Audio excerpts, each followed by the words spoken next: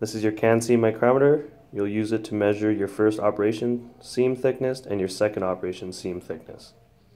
How your can seam micrometer works is your inner barrel is divided up into 25 thousandths. Each little small tick is 25 thousandths and where the 1 is that would be 100 thousandths of an inch. The outer barrel, if you notice, one full rotation, right to 24 will give you 25. If you notice right underneath the zero on the inner barrel, you'll see that first line which indicates you're at 25 thousandths. So that being said, if you see one tick and you pass it and land on 15, you'd be at 40 thousandths. In this case, we use ball cans, and ball specifies first operation seam thickness to be 76 thousandths plus or minus 2 thousandths. Here we have first operation seamed can. We'll grab our micrometer.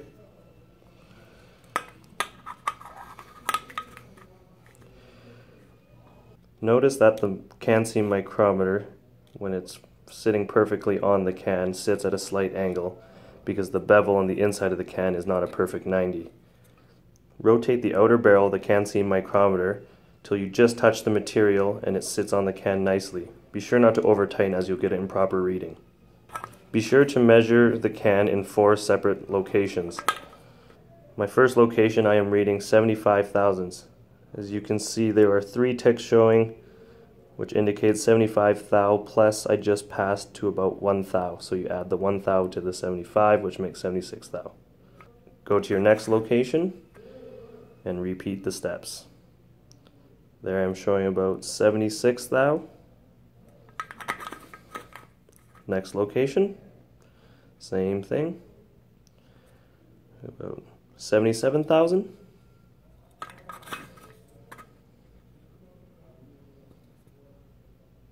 And 77 and a half thousand. Take the average of your four measured locations, and if they fall into your can manufacturer specs, then you're good to go to the next step.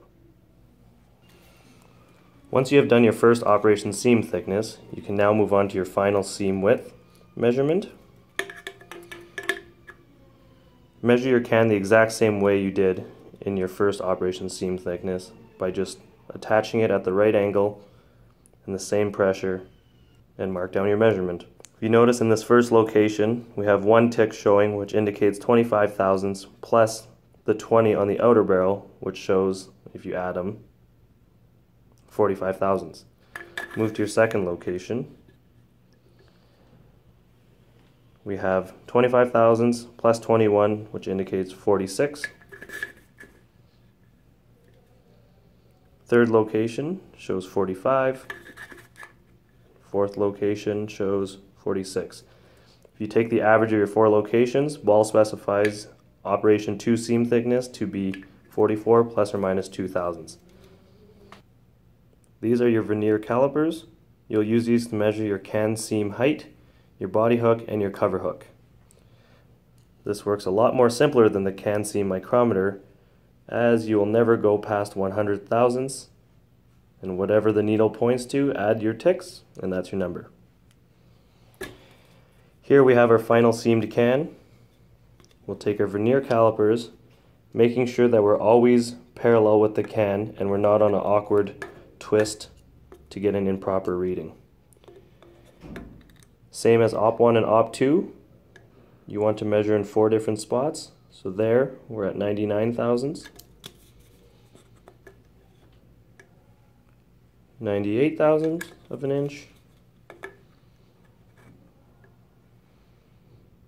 99.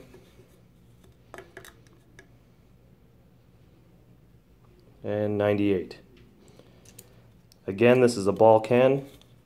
Ball asks for a 98 plus or minus 2,000 specification. If you fall in next, then you can continue to the teardown.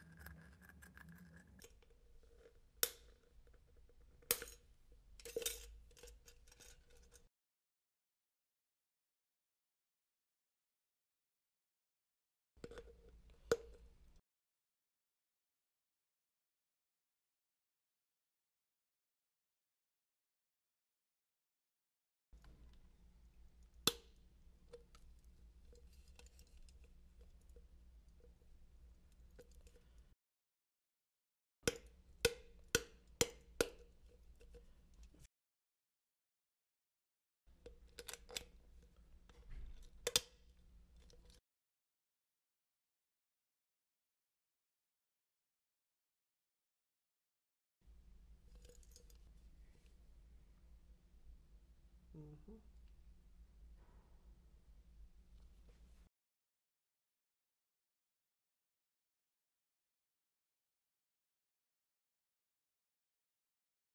Once you have torn your can down, you're left with your body hook and your cover hook. You'll need to grab your vernier calipers again, grab your can, do the exact same thing you did with your final can seam height. Make sure to be parallel with the can, not twisted or crooked in any way. You'll want to grab the body hook Rotate your dial in till it likes to sit down and there we're showing a reading of 67. Again, this is a ball can. Ball specifies the body hook to be 65 plus or minus 5 thousandths. Measure in four locations.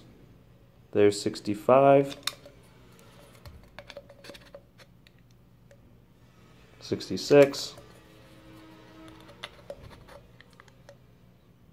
66. Then you can move into your cover hook. Ball specifies the cover hook to be a minimum of 60 plus or minus 5 thousandths. Here you'll have to be very careful to make sure you're grabbing the cover hook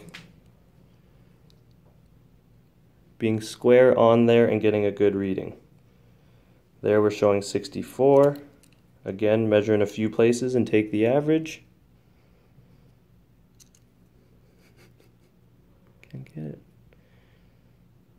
There we're showing 65.